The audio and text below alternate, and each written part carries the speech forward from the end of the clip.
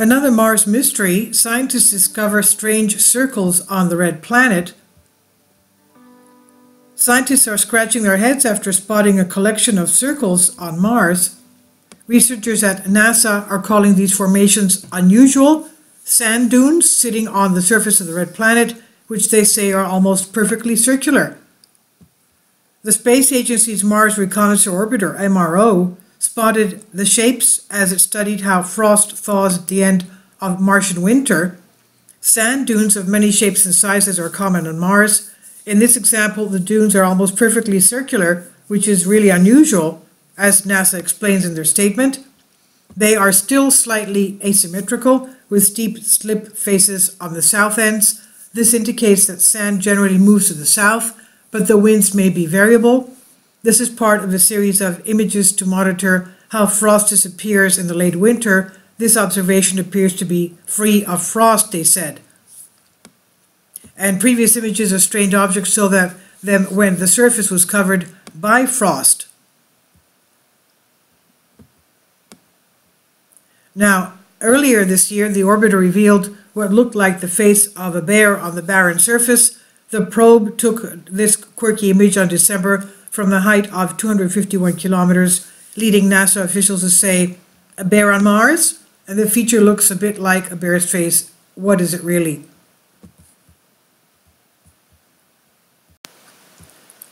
The Mars Reconnaissance Orbiter has been orbiting and studying Mars since the year 2006 the spacecraft is designed to study the geology and climate of Mars and provide reconnaissance of future landing sites and also to relay data from the surface missions back to our Earth. Strange sights keep emerging, though, on Mars, as if humans need even more evidence that there may be something extraterrestrial happening on Mars. NASA's Curiosity rover sent back images of what appears to be a doorway on the red planet last year. Now, in my humble opinion, I don't believe that there's any way that that is a natural formation. It seems to be that there's plastered, the side, the left side of that entrance is plastered. I don't know, maybe the door is opened. Somebody left the door open, but we can see that it's plastered, very nicely smooth. So obviously somebody, something has cut into the side of this mountain. And we even see that uh, area before the entrance is nicely sliced and uh, the pathway is very even as well. Uh, so, you know, you can even use a carriage or something. There's no step to go into it. it's just a platform.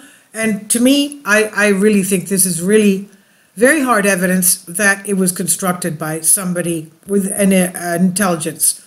But anyway, you can see that all these artifacts are still being brought up to us those images from May 2022 appear to show the clearly cut hole in the rock face, sparking wide debate among space enthusiasts on social media.